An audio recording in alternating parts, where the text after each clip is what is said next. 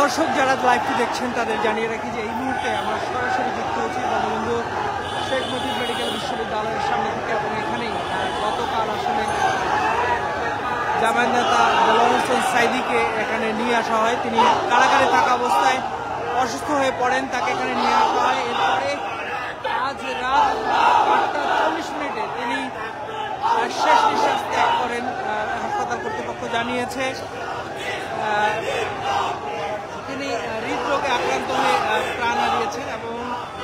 আমরা যদি হাসপাতালের বাইরে দেখি হাসপাতালের বাইরের অংশটি আমরা যদি আপনাদের দেখাই যে হাসপাতালের বাইরে, এখানে কিন্তু জামায়াতের বিভিন্ন পর্যায়ের যারা নেতাকর্মী রয়েছেন, তারা এখানে এসে উপস্থিত হয়েছেন এবং এখানে নানা রকম স্লোগান তারা দিচ্ছেন। দর্শক, আপনারা কে কোথা থেকে যুক্ত হয়েছেন সেটি একটু আমাদেরকে জানাবেন এবং সেই সঙ্গে